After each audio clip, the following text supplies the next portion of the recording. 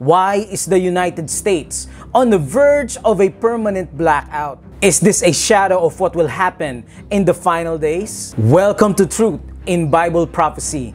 Kindly subscribe and like this video.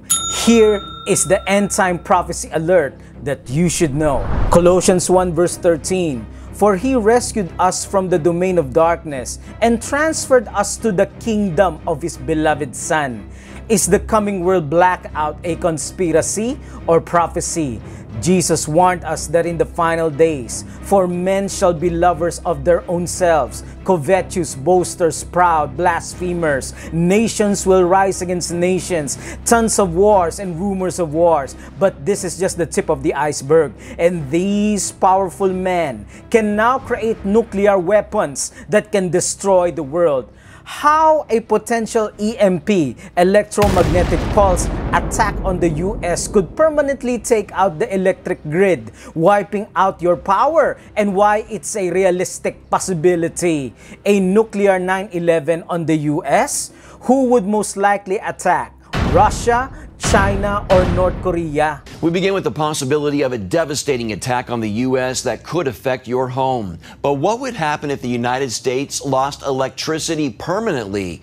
Electromagnetic pulse bomb experts warn America's enemies are already getting ready to launch such a strike. And Gary Lane explains why one expert believes such an attack is inevitable. An electromagnetic pulse bomb, or EMP, is a nuclear weapon designed to explode high up in the atmosphere and knock out a country's electrical power grid.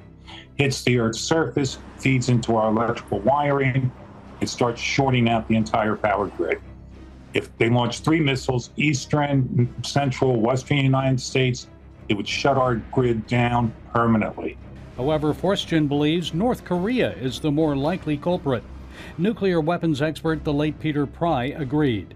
Five years before his death in 2022, Pry warned that Kim Jong un's launch of a high altitude ballistic missile was a test of North Korea's EMP capabilities against the United States. The Japanese and South Korean military uh, both described it as practicing for an EMP attack because it was. Uh, it was burst on ascent deliberately by the North Koreans when it was at an altitude so of about 71 kilometers.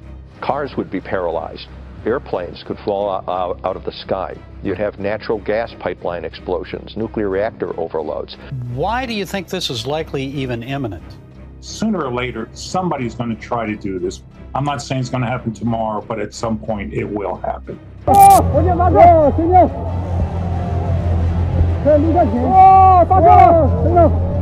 Not only that China has built its artificial sun, and we've discovered its endearment to sun worship, rooted in sun worship. China has also built an artificial moon that stimulates low gravity conditions on Earth. China has built a research facility that simulates the low gravity environment on the moon, and it was inspired by experiments using magnets to levitate a frog.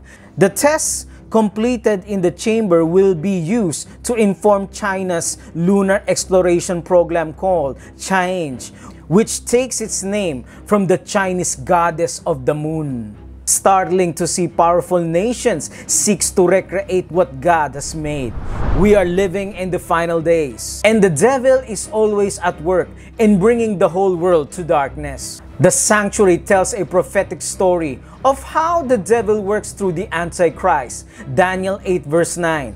And out of one of them came a little horn. He even exalted himself as high as the prince of the host. And by him the daily sacrifices were taken away, and the place of his sanctuary was cast down. Friends, let us dive into the journey, into the sanctuary, and learn how God restored light from the dark ages blackout. A prophetic question was raised concerning these dark ages. Daniel 8 verse 13. How long will it take for the vision to be fulfilled? The vision concerning the daily sacrifice, the rebellion that causes desolation, the surrender of the sanctuary and the trampling underfoot of the Lord's people. Answer verse 14. It will take 2,300 evenings and mornings, then the sanctuary will be restored the longest time prophecy that begins in 457 BC and ends in 1844. Let us follow God's GPS, gospel plan of salvation, truth and light restored in the sanctuary.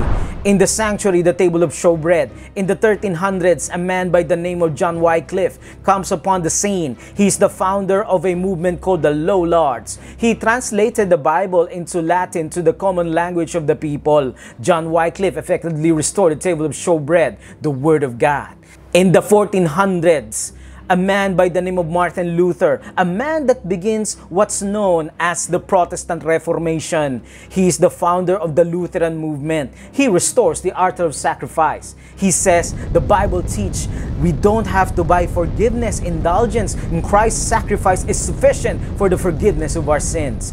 In the 1500s, another man by the name of John Calvin comes upon the scene, the founder of the Presbyterian movement, and he has a special burden for prayer, saying we don't need to go to the priests and popes to get forgiveness of sins. We can directly pray to Jesus. Calvin effectively restores the altar of incense. In the 1600s, a man by the name of John Smyth comes upon the scene. Along with Roger Williams, became known as the founder of the Baptist movement. They preached the biblical baptism by immersion, restoring the laver. In the 1700s, a man by the name of John Wesley comes upon the scene. The founder of the Methodist movement, Wesley has a special burden. He believes that every individual is an evangelist. Everybody is supposed to be the light of the world. And he begins these missionary societies and sending people out to evangelize, restoring the seven branch candlestick. All of these furnitures in the sanctuary tells God's story of restoration. And it was present truth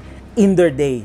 Proverbs 4 verse 18, the path of the righteous is like the morning sun, shining ever brighter till the full light of day. God does not give all the brightness and light to one man, but rather the truth shines and shines brighter until the culmination, the end of 1844. At the end of 1844, God will bring a movement into existence, having all the truth restored by the reformers and keeping of God's law, including the fourth commandment, the Sabbath. William Miller, Samuel Snow, Ellen White, and many reformers believe that the sanctuary to be cleansed is on earth which takes place in October 22, 1844. But they were disappointed. The sanctuary to be cleansed is in heaven, where the Son of Man meets the Ancients of Days, God the Father, for Jesus' final ministry in the most holy place. Daniel chapter 7. The Seventh day Adventist Church, a movement that believes in righteousness by faith, sola scriptura, baptism by immersion, evangelism and mission, intercession of Christ in our prayer. The Adventist Church restored the Ark of the Covenant, the Ten Commandments, God's commandment and time people. The book of Revelation is a love story between a faithful bridegroom and his bride. And very soon, they will be reunited in the second coming of Christ. Only through his blood we can overcome. Kindly type in the comment section, I will be a citizen of heaven. Kindly share this timely, encouraging video. Like this video and may we all continue to seek truth in Bible prophecy.